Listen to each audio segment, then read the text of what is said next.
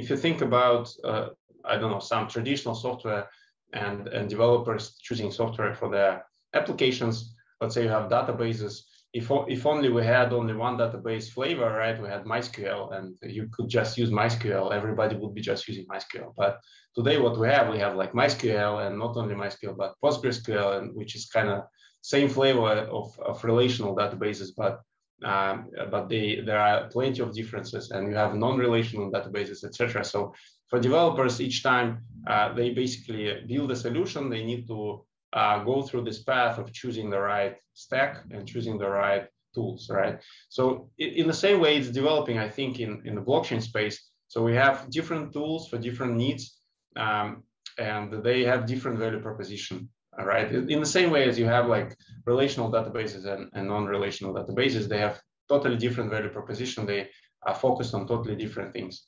Uh, so in the same way, I think all this all these protocols work in a way.